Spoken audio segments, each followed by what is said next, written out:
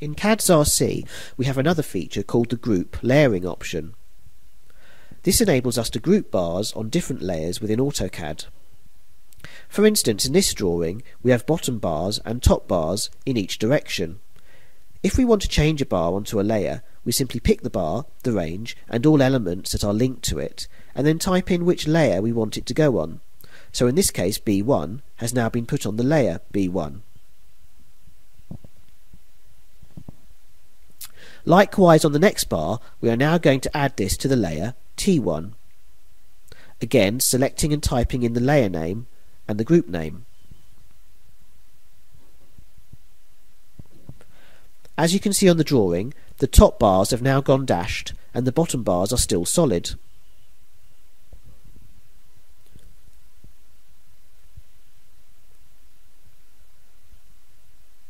Once we have gone through the rest of the bars, we can now enhance the group layering feature further. So for instance, we may decide just to look at one layer. This time, we're going to type in B1. This shows only the bars in the group B1.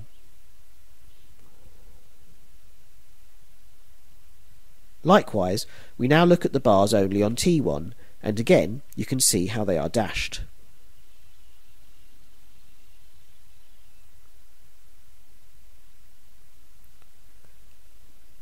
We can also look at more than one layer, so in this case we will also add on T2 at the same time, and now that shows all the top steel.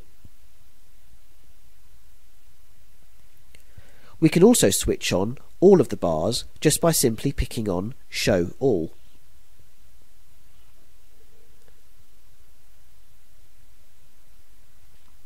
When we draw a new bar, we can define what layer we want this on. So in this case, we are going to add this to T1, and just like before, we enter the data to draw the bar, the number of bars, the size, and then place the bar on the drawing.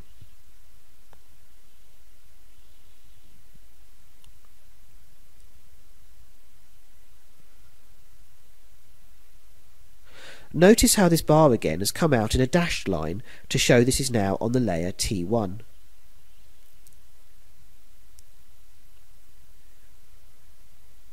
Within AutoCAD, you can see how the layers are displayed with bottom bars and the top bars.